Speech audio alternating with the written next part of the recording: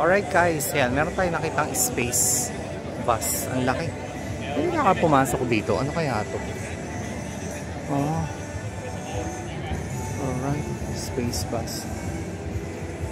Can I enter? Pode? Yeah, enter. Pode Enter, entrar, pode okay. yes. Thank you, thank you. Yes, thank you. Okay, space bus. Wow. Alright, ayan pa tayo. Ah! Bus siya na parang ano no?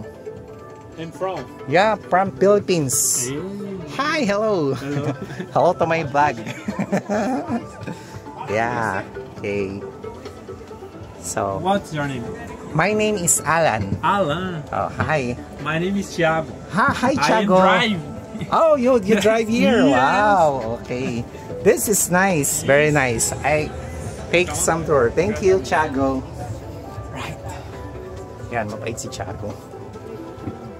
Natin. Oh. Ah, grabe, no? Space bus, no? Oh, di ba? Wow. Space bus. Laki. Hmm, po tayo. Pag umupo ka dito, meron kang makikita ganyan.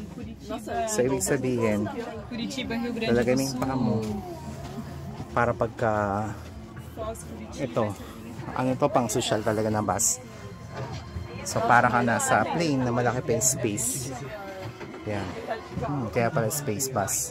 So, ibig sabihin, kapag ano, tingnan tayo doon. Ah, ito yung second floor. eh. Ah, yun o, laki o. Seja Second floor. Second floor ng bus.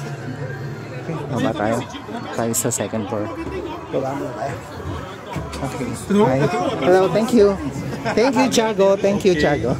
Bye. Yeah, yeah, very beautiful. Oh, ganda. Yeah. Alright, see.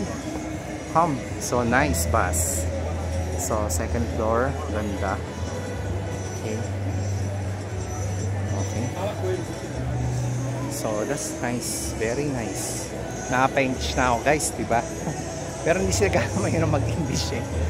So, yan. Na-meet natin si Chago. Second floor kasi yung bus dito. So, ganda. The best siya. So, very comfortable ka talaga doon kapag ka nandun ka sa loob. Yan. Hello. Alright. Papasok ko ba ako? Galing na ako dyan. Okay, tingin muna tayo ng another bus line. Ito naman mukhang makaluma, no? Oh, kung mga mahilig sa vintage. Oh, Chevrolet. Okay, Chevrolet pala to. Parang ito pinreserve nila. Oh, may sira, no? Parang pinreserve to, tingin ko. Wow. Okay. Ito. Ah, pang Pilipinas na bus. Pero pinreserve to, tingin ko. Hindi ko alam yung history nito, but okay. Iba tayo sa mga bus. Ayan, pagka nagtitingin ka ng mga car show, yan yun. Right, tingnan natin. Saan sila? Portable na yata sila. Okay.